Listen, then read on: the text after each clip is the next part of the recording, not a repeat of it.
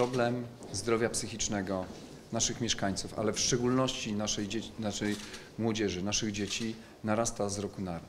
Przed chwilą rozmawialiśmy nawet z panem dyrektorem, że w ciągu e, trzech ostatnich lat statystyki pokazują, że przypadków tego typu chorób e, mamy dwukrotnie więcej e, w stosunku do tego, co mieliśmy przed pandemią.